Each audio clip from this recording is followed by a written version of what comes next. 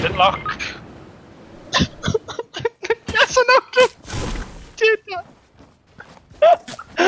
I was getting shot from the guy on top.